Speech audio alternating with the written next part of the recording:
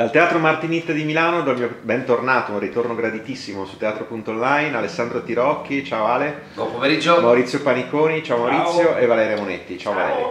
Allora, perché c'è la crisi dei matrimoni religiosi?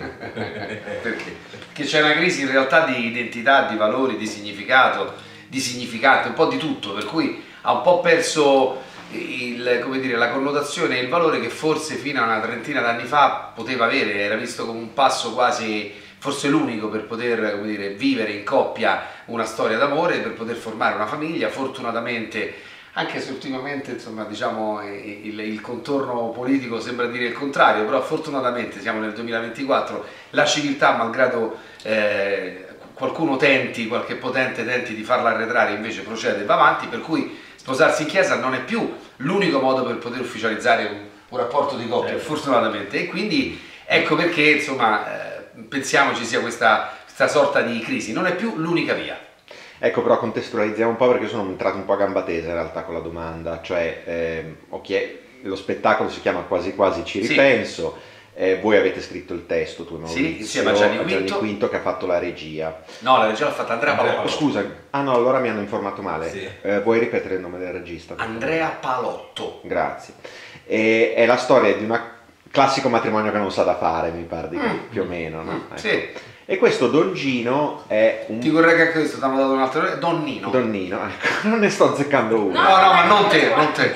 Scusate. Non, non sei tu. Allora, Donnino è un prete un po' sui generis, un po' Borderline. anticonformista. Molto, molto, sì. Sì, Donnino è assolutamente un prete molto poco canonico, usando un giro di parole, che ha un passato burrascoso, diciamo un, passato, come dire, eh, neanche da nascondere, ma che l'ha formato in un certo modo, molto di strada, è cresciuto in strada, la strada l'ha portato a sbagliare e, questo passato poi lui è riuscito a convertirlo in un percorso differente. Nella sua visione però del, diciamo, del, del, del fare il prete, del, della missione eh, del prete e vedremo durante lo spettacolo il quasi quasi ci ripenso di Nonnino è proprio un quasi quasi ci ripenso alla sua condotta però anche Greta e Riccardo hanno un viaggio che li porterà a un certo momento a dire quasi quasi ci ripenso, no? Assolutamente sì, eh, nel senso che questo quasi quasi ci ripenso in realtà spiazza un po', eh, mm. perché uno potrebbe pensare che quasi quasi ci ripenso e quindi non, non mi sposo, in realtà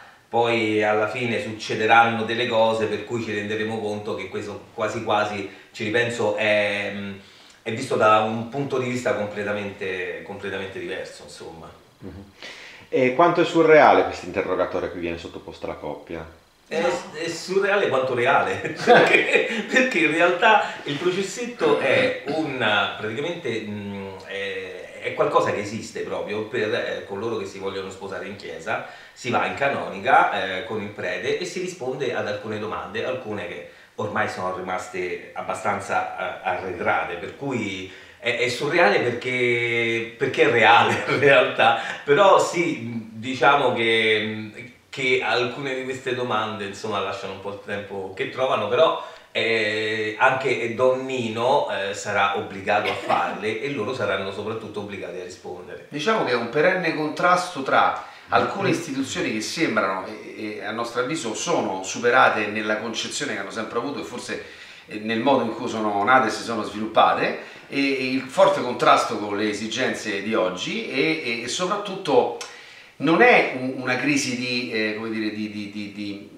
di, fede o una crisi in un riferimento d'amore universale, quello no, è diciamo tutto il contorno che risulta veramente antico. E in questa storia ognuno dei protagonisti fa un percorso che rompe, spezza delle regole, eh, avrà modo di conoscersi molto attraverso le domande sul matrimonio, ma anche eh, diciamo, la vita di loro tre in quei tre giorni, perché si parla di un ritiro prematrimoniale, perché per ottenere parte tutto da un presupposto che noi abbiamo forzato in una maniera un po' fiction, cioè la curia e, e la chiesa istituisce un bonus da 20.000 euro per sposarsi in chiesa, proprio perché insomma, ormai c'è un c'è bonus questa crisi punto, esatto. per cui abbiamo pensato che allora, il bonus eh, casa, certo. il bonus macchina, il bonus, a questo punto perché non un bonus matrimoni dal momento che il matrimonio in chiesa è in crisi? Greta e Riccardo ne vogliono approfittare, ma semplicemente per, per il vantaggio economico si amano, già convivono, non ci sarebbe motivo, non ci sarebbe necessità di questo passaggio ecclesiastico, ecco, diciamo così.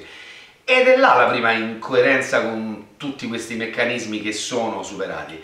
E in questi tre giorni loro avranno modo di conoscersi, avranno modo di confrontarsi, avranno modo di capirsi, di capire dove sono le incongruenze della loro vita e fare delle scelte.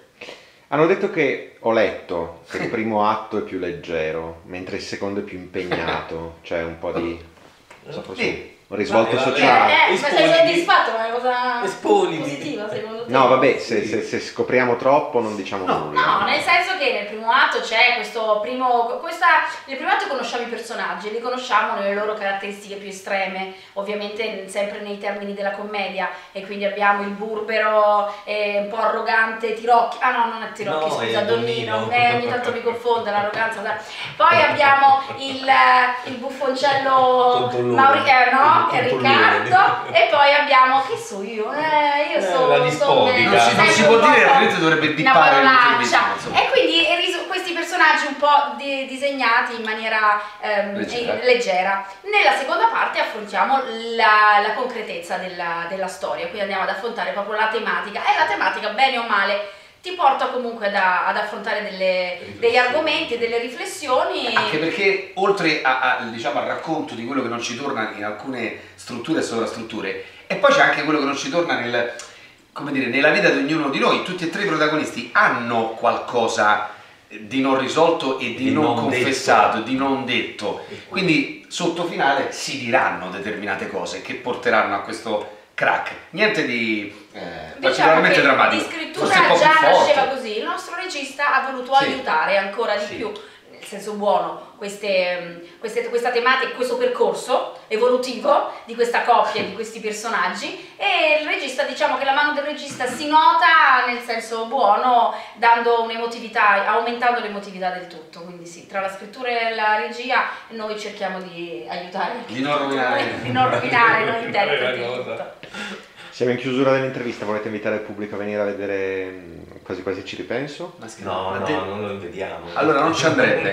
No. Però diciamo anche che siamo in chiusura di stagione. Eh. Poi voi col teatro vi fermerete un po' e allora rimanete con un bel ricordo del Eh. Teatro Martinit. Fino al 2 giugno siamo qui con quasi quasi ci ripenso e vi aspettiamo Teatro Martinit. Ciao. Alessandro Tirocchi, Maurizio Paniconi, Valeria Monetti, grazie a tutti Ciao. e tre. Ciao!